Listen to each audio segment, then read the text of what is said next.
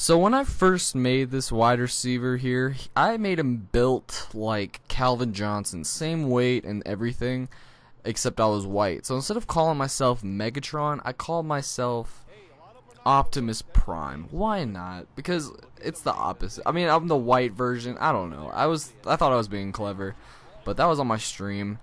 Uh, this is week three and four, guys. It's the MaddK9 here, commentating as always. I didn't start this the week three out very well. I fumbled off my very first reception. Almost broke free here for that long touchdown run, but if you notice, I changed the quarter length down. I've mentioned that in a few other of my videos.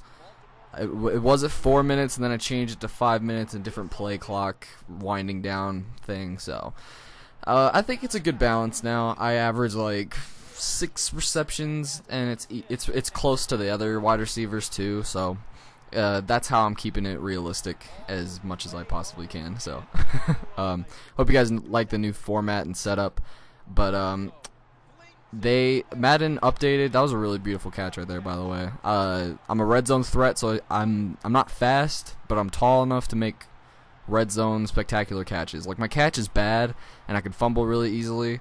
Like I can miss wide open catches, but I can make spectacular catches. You know, it, I'm like Victor Cruz sort of. Like he misses wide open catches, but he's he pulls off the most ridiculous touchdown catches ever. Right there, I looked a lot faster than everybody else. It was just because I gained separation with uh, Joe Flacco's pass.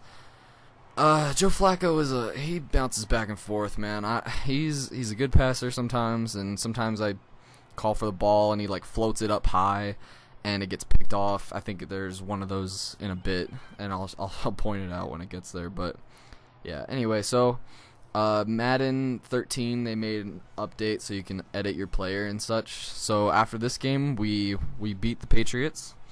Um, I went back into settings. Uh, how many? I got 165 yards, two really good plays, two touchdowns. I had a pretty big game. Uh, but I just I adjusted my character to look skinnier, like less of a tight end looking kind of guy. So it would make more sense in my opinion and look more realistic.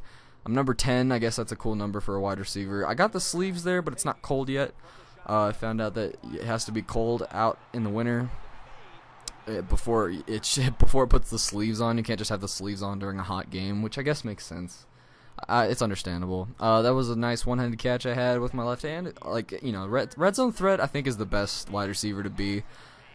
Just because I mean you're gonna get more touchdown looks than I was thinking about being like a Wes Welker like route runner, like slot receiver, but um, I just I preferred red zone threat, and it made me a higher overall on the Ravens too, since their wide receivers aren't as good, and Joe Flacco isn't as good. So I'm here. I'm here to help the Ravens passing game. I'm here to make the Ravens offense relevant because we already know their defense is relevant.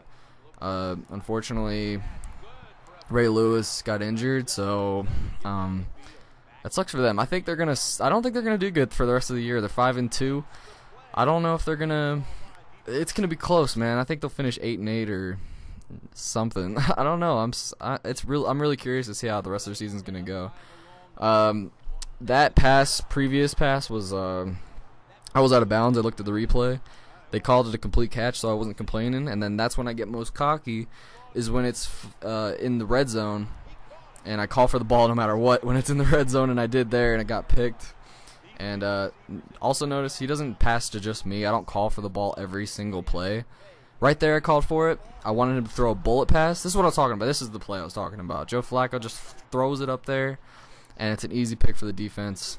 Uh, I do let Ray Rice run the ball a lot too, is whenever it's a run play, but I just don't show it because uh, whenever the computer is uh, in charge of running, they always do this weird juke move every play, and it slows them down, and they always get tackled. So even if it's Ray Rice, they get they don't get yards. So unfortunately, Ray Rice is not going to have a good year in this connected career, but I am. So that's what's most important.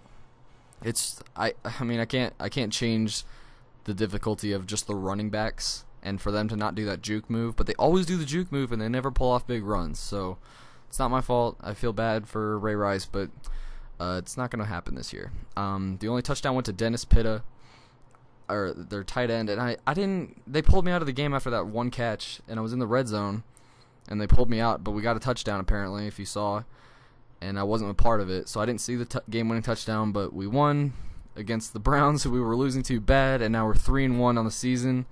And uh, I hope you guys enjoyed this episode. I hope you guys like that I'm putting out more videos per day.